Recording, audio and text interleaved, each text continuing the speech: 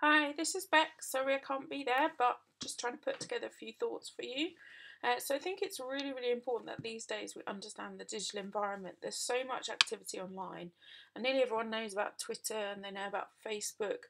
But amongst young people, a lot of those conversations have moved away from that public space into the more private space of apps like WhatsApp and Snapchat, where they have private conversations with friends. So when I wrote this book, Raising Children in a Digital Age, in 2014, it was because I was coming across so many people from within the church, especially those working with youth and children, who found that they and parents had many questions about what children were really doing online and the kind of steps that should be taken.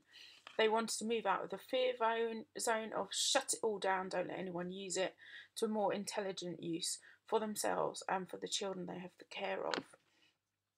And part of the reason this book is called Raising Children rather than Parenting is that although I have no children, I believe I and others are responsible for creating a positive environment for all, especially its most vulnerable users, particularly children.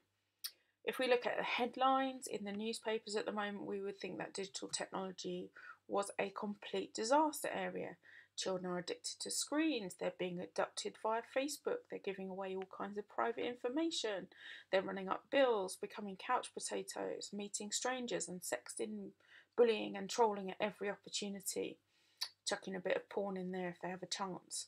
So we could give up in despair, but research shows that in fact the media, as is common, has presented an overly negative picture.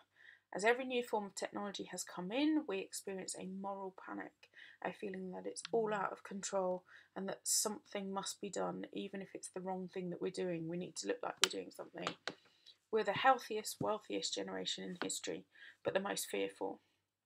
And we spend so much time comparing what is happening online with what we see in face to face communication without stopping to think that digital is an equally valid form of communication. It's just different and needs to be measured on its own terms. We didn't all used to chat to strangers on the tube before mobile phones came along. And when we do engage, we need to understand that we have a lot of choice in the matter. Technology has made lots of new things possible, including me participating in this event, even though I can't get there in person. But it doesn't have to make them inevitable. We're not subject to what is known as technological determinism. Uh, the machine made me do it. We are the ones that press the button. We need to spend the time online looking at the different kinds of platforms available and what each is capable of. So, for example, Facebook, Facebook could be seen as sitting down in the pub with friends, and then their friends might join in the chat. Twitter is more like taking a megaphone out into the public space and someone picking up on a couple of words and thinking, ah, oh, I'll join in that conversation and there's lots of other platforms in regular use, including Instagram, YouTube, LinkedIn, Pinterest, Spotify, Google Plus, Reddit, Vine, Snapchat, WhatsApp, and Yak. But don't be overwhelmed. If you can understand any of them, you're moving forward. And we need to understand that children are not necessarily the fabled digital natives that we hear about. They don't come out of the womb understanding how to engage online.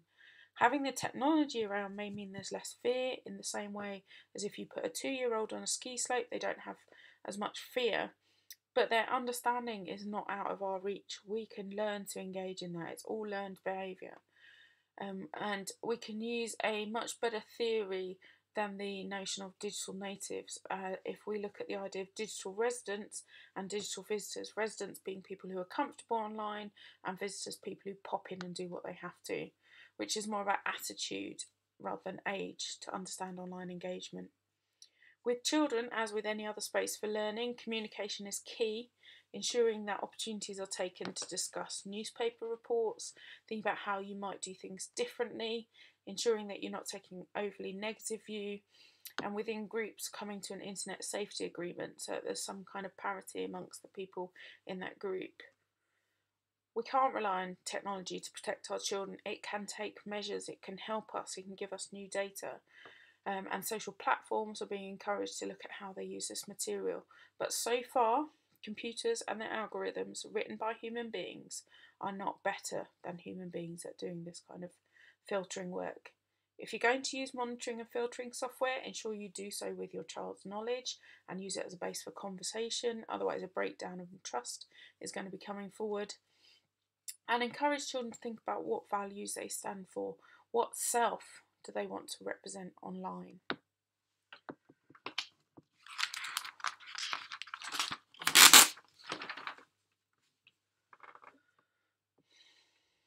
Think about everything that you post online. Think about are you happy for God to see it?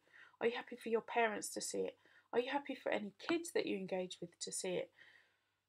Do you mind seeing on the front page of a newspaper even in five years' time? Will you stand behind what you said? And can your worst enemy do anything with that information that you've pressed send on?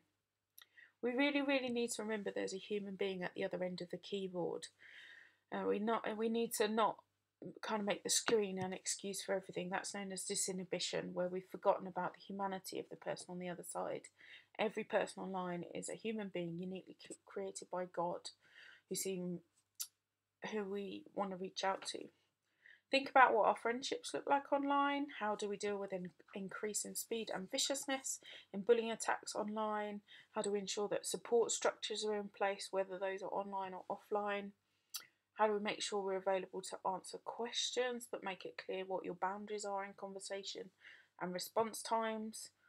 Recognise that stranger danger is incredibly rare and that technology can help those uh, find those who've been abducted, but understanding the clues in changing behaviour and all sorts that indicates children are doing something unusual is key.